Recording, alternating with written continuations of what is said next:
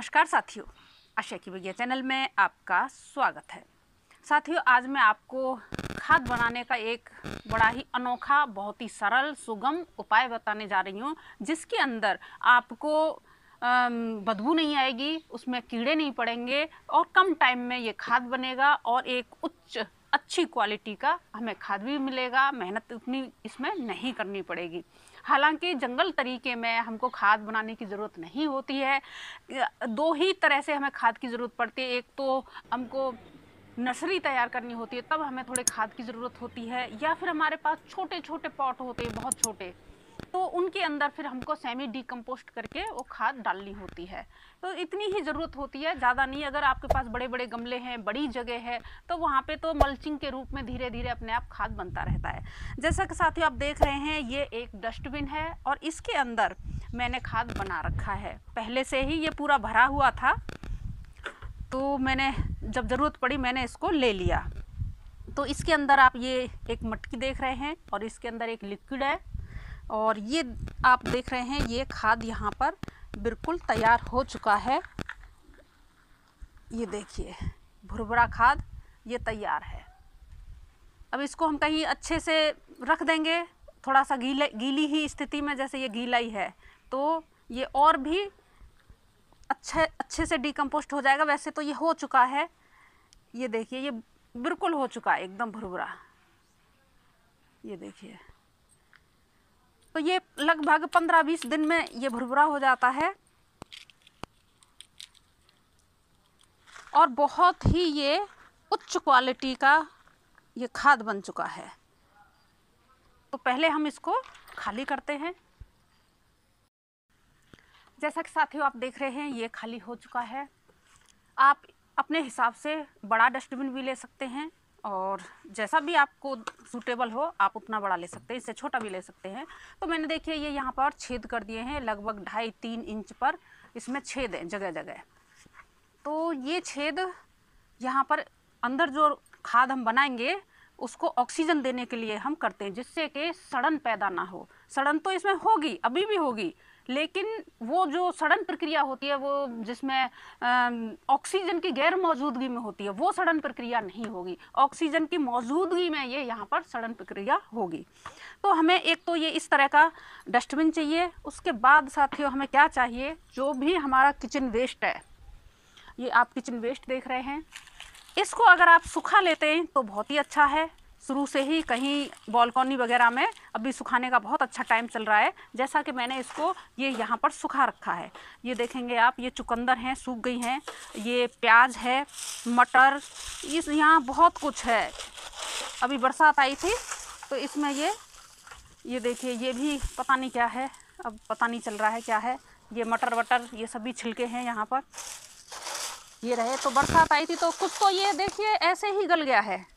अब हमको क्या करना है कि इस पर थोड़ा पैर रख के इस इनको छोटा छोटा कर लेना है। पैरों से थोड़ा छोटा कर लेना है और इनको सुखा लेते हैं तो बहुत अच्छा है। अगर कुछ गीले भी रहते हैं तो भी चलेंगे। तो मैं आपको सभी तरह से बत, बता बता दूँगी कि इस तरीके से हम खाद बना सकते हैं आसान तरीके से। तो मैं इसको छोटा कर लेती हूँ। ये मेरा किचन वेस्ट है और ये मेरा बगिया से निकला हुआ वेस्ट है। ये देखिए भूसा वगैरह वो है।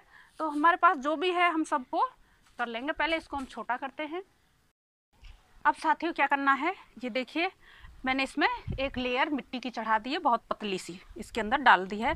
और ये जो आप देख रहे हैं, ये किचन वेस्ट और बगिया का जो भी वेस्ट है हमारे पास में था, हमने वो सब इसमें मिक्स कर दिया है। और मिक्स करने के बाद में जो लिक्विड था हमारे पास में, जैसे ये लिक्विड है, ये मैं बताऊँगी ये क्या लिक्विड है तो ये भी हमने इसके ऊपर थोड़ा सा डाल लिया है। तो ये थोड़ा गीला गीला हो गया है। थोड़ा थोड़ा ज़्यादा हमें गीला नहीं करना है अब हमें क्या करना है? इसके अंदर इसको डाल देना है। ऐसे परत बना देनी है। एक कम से कम चार पाँच इंच की परत बनानी है।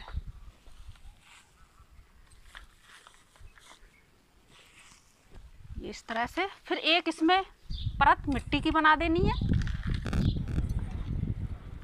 ये बस। है तो साथियों, ये मैंने देखिए, तैयार कर लिया है। यहाँ पर मैंने थोड़ी मिट्टी डाल दी है। और अब मैं यहाँ पर ये जो मटका आप देख रहे हैं, इसको मैं रख दूँगी। आप बड़ा ले सकते हैं, इसको ढक ले इतना बड़ा ले सकते हैं, जैसा आपका पात्र है, उस हिसाब से खूब बड़ा ले सकते हैं। मेरे पास में पहले ये छोटा था तो मैंने इतना सा ले रखा था। लेकिन ये बहुत छोटा है, ये ठीक है, अभी इससे और भी बड़ा अगर मेरे को मिलेगा तो ये पूरे को पैक कर ले, मैं ऐसा रखूँगी। अब होता क्या है साथियों, कि इसमें से धीरे धीरे पानी रिश्ता है यहाँ से। हमें ऐसा ही घड़ा लेना है, पुराना घड़ा लेना है। हमारे यहाँ नए घड़े जो होते हैं, वो तो दो तीन घंटे में ही खाली हो जाते हैं। उतना तेज़ हमें घड़ा नहीं लेना है। ये पुराने घड़े हैं काफ़ी। तो ये धीरे धीरे रिसेंगे। तो ये मिट्टी को गीला करेंगे और हमारी मिट्टी ये पूरे में फैली हुई है एक परत। तो ये मिट्टी एक दूसरे के कण से लगती हुई यहाँ पर एक आदर्श नमी स्थापित करेंगे और उस आदर्श नमी के अंदर हमारा ये जो यहाँ पे ये कचरा है, कचरा नहीं कहूँगी मैं, इसको कंचन बोलती हूँ। तो ये यहाँ पर इसका विघटन बहुत ही अच्छे से यहाँ पर होगा।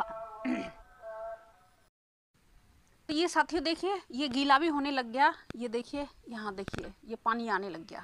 थोड़ा थोड़ा करके ये देखिए, ये यहाँ से ये गीला होने लग गया। तो अब इसमें हमें क्या है कि पानी का छिड़काव करना या इसे बार बार अल्टी पल्टी करना, उन सब की हमें ज़रूरत नहीं है। और ये ऑक्सीजन की उपस्थिति में यहाँ पर ये खाद बनेगा, जो कि बहुत ही उच्च क्वालिटी का ये खाद होता है। अब हम बात करते हैं कि इसके अंदर ये लिक्विड क्या चीज़ है। तो ये लिक्विड साथियों, गौ कृपा अमृतम है, जिसको मैंने इसको भी गीला कर लिया था उसी से। ये आपको बहुत ही आसानी से मिल जाएगा और इसके नंबर जो है मैं डिस्क्रिप्शन में डाल दूँगी कि आपको ये कहाँ से मिल सकता है आपके शहर में। ये आपकी किचन गार्डनिंग करते हैं तो बहुत ही सुगम बना देगा आपकी किचन गार्डनिंग को। तो ये गौ कृपा अमृतम आप ज़रूर प्राप्त कर लें, ये निशुल्क मिलता है। और बाय द वे आपके पास गौ कृपा अमृतम फ़िलहाल अभी लॉकडाउन का टाइम चल रहा है तो नहीं है। तो हमें थोड़े पानी में गोबर, गौमूत्र, थोड़ा गुड़ डाल के और उसको दो तीन दिन के लिए ऐसे ही छोड़ देना है। फिर उस लिक्विड को इसमें भर देना है और इसको भी थोड़ा थोड़ा गीला करके सारे को और इस तरह से यूँ ढक देना है, रख देना है। तो ये मात्र पंद्रह दिन के अंदर हमारा खाद बन के तैयार हो जाता है। ये जो इसके, ये आप देख रहे हैं, छिलके जो भी हमने लिए हैं, वो जितने छोटे होंगे, वो उतनी जल्दी इसमें खाद बनेगा। और इसमें एक चीज़ का ध्यान रखना है कि हमें जो किचन वेस्ट है ग्रीन वाला, गीला वाला और वो पूरा का पूरा वो नहीं लेना है, क्योंकि उसके अंदर 90 परसेंट पानी होता है। फिर हम पानी का भी छिड़काव करेंगे, फिर हम ये पानी भी रख देंगे तो सोचिए वहाँ पे क्या स्थिति होगी, वहाँ कीचड़ बन जाएगा। तो हमें कीचड़ नहीं बनाना, हमें खाद बनाना है। तो हमें ये सुखा कर लें, थोड़ा बहुत गीला है, आपके पास तो वो मिक्स कर सकते हैं उसमें। तो ये बहुत ही बेहतरीन, बिना किसी छेड़छाड़ के ये खाद मतलब मेहनत के ये बन जाता है और उत्तम खाद बनता है। सात आठ दिन के बाद में आप इसको एक बार उठा लीजिए इसको और पूरे को अल्ट पल्ट करके वापस इस तरह से इसको लेके भर दीजिए और ये पंद्रह, बीस दिन के अंदर बहुत ही बेहतरीन खाद बन जाएगा। कोई बदबू नहीं आएगी, कोई कीड़ा नहीं यहाँ पर होगा और शानदार खाद आपको मिलेगी। और इस तरह से इसे ढक के किसी भी कोने में इसको रखा जा सकता है। बीच बीच में देखते रहिए और अगर साथियों आपको मेरे वीडियो अच्छे लगते हैं तो आप उन वीडियो को ज़रूर शेयर करें और वीडियो को लाइक भी करें और चैनल पर पहली बार आएँ तो सब्सक्राइब भी करें। और साथियों वीडियो का आप शेयर ज़रूर किया किया कीजिए क्योंकि बहुत सारे प्रयोग प्रयोग करने के लिए मुझे कुछ धन की ज़रूरत होती है। तो अब इस तरह में सभी आर्थिक मंदी में चल रहे हैं तो एक यूट्यूब से ही मुझे आशा है कि थोड़ा मुझे खर्चा मिल जाएगा। तो साथियों ज़्यादा से ज़्यादा आप इसको शेयर किया करें ताकि मैं जो भी प्रयोग करती हूँ उन प्रयोगों के लिए मुझे थोड़ा सा आ, मेरे को धन मिले। तो इसके लिए साथियों आपका बहुत ही बहुत धन्यवाद। आप शेयरिंग करते रहते हैं और भी ज़्यादा आप शेयरिंग करेंगे तो मुझे कुछ धन मिलना शुरू हो जाएगा। तो ये बहुत ही अच्छा होगा। मुझे कुछ यात्राएँ भी करनी है खेती से संबंधित तो मैं वो यात्राएँ भी कर पाऊँगी। तो साथियों, बहुत ही अच्छा रहेगा। आप लोग शेयरिंग करेंगे तो इसी के साथ नमस्कार, धन्यवाद।